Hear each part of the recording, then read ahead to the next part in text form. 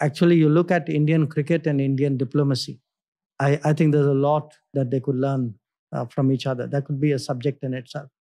Wow. Okay. Um, so many more tangential questions just related to that thought.